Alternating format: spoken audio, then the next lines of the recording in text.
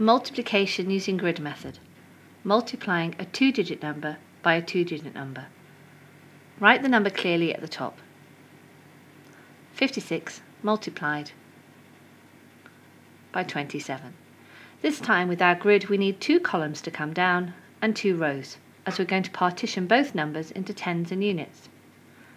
Again writing in the top left hand column the multiplication sign to remind us this is multiplication. Going to partition 27 into a 20 and a 7 and 56 into 50 and 6. As before, when we multiplied using the tens column, we can write the zero in ready to go. But in 20 and 50 we have two zeros, one in each number, so we're going to write both of those zeros straight away into that box.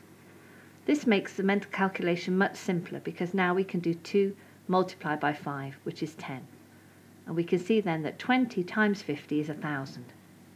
Moving on to the 6, 20 times 6, again putting in that 0 from the 20, and then doing 2 multiplied by 6, which is 12. So 20 times 6 is 120.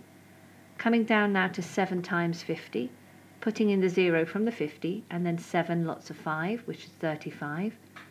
7 50s are 350, and then 7 multiplied by 6, which is 42.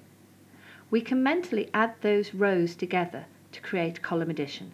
So we have 1,120, adding on 392.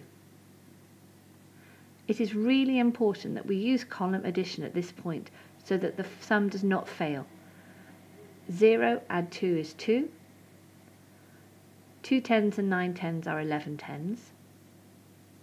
100 add 300 and the 100 below makes 500 and 1000 adding 0 is 1000. The answer is hmm. 1512.